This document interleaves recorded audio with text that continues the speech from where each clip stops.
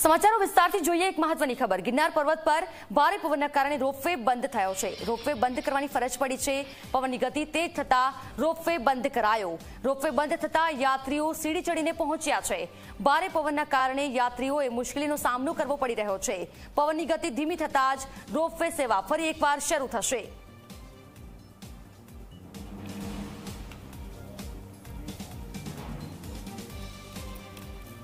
સંવાદદાતા ભાવિન ફોનલાઈન પર જોડાયા છે. ભાવિન જુનાગઢમાં રોપવે સેવા પવનની ગતિના કારણે બંધ કરવામાં આવી છે. શું વધારે વિગતો? હા, જી ધરા આજે જોવામાં આવે તો જુનાગઢમાં જ વહેલી સવારથી પવન જોરદાર ફૂંકાઈ રહ્યો હતો. સિત્તેર કિલોમીટરની આસપાસ પવનની ગતિ રહેતા ગિરનાર રોપવે જે એશિયાનો સૌથી લાંબો અને ઊંચો રોપવે છે, તે રોપવેને આજે બંધ કરવાની ફરજ પડી હતી અને કંપનીએ નિર્ણય લીધો હતો. જો પવનની ગતિ બપોર બાદ કે બપોરે ધીમી પડશે તો ફરી રોપવે શરૂ કરવામાં આવશે. ત્યારે જુનાગઢ શહેરમાં પણ પવનની ગતિ તેજ થતા ધૂળની ડમરીઓ અને ઉડી હતી ત્યારે લોકોને પણ મુશ્કેલી કરી હતી. ત્યારે આવા ભારે પવનના કારણે રોપવે બંધ થતા યાત્રિકો પણ ઉપર પહોંચ્યા હતા, જેના કારણે યાત્રિકોએ પણ ભારે પવનનો સામનો કરવો પડ્યો હતો.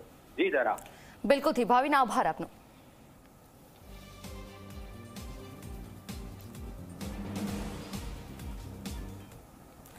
હતા ત્યાર સુધીના સમાચારો અને મહત્વની ખબરો માટે આપ જોડાયેલા રહો ઝી ચોવીસ કલાક સાથે. નમસ્કાર.